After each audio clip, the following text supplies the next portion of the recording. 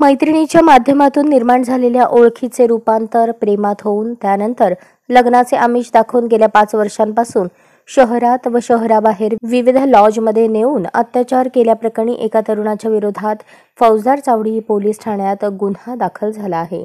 या घटनेची हकीकत अशी की मैत्रिणीच्या माध्यमातून ओळख झाल्यानंतर त्या ओळखीचा फायदा घेत आरोपी राजेश परशुराम मदरी राहणार सोलापूर यांनी प्रेमसंबंध वाढवले आणि लग्नाचे आमिष दाखवून शहरातील बाळी रोड अक्कलकोट रोड पुणे येथे राहत असलेल्या ठिकाणी नेऊन वारंवार शारीरिक संबंध प्रस्थापित केले.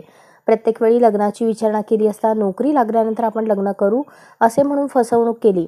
काही दिवसांनी त्याचा मोबाईल बंद लागला असता त्याच्या घरी जाऊन चौकशी केली असता त्याने लग्न करून पुण्यात घर थाटले असल्याचे कळले. आपली फसगत झाल्याचे कळले असता त्या पीडित तरुणीने फौजदार जावडी पोलीस ठाण्यात गुन्हा दाखल केला आहे. पुढील तपास पोलीस करत आहेत.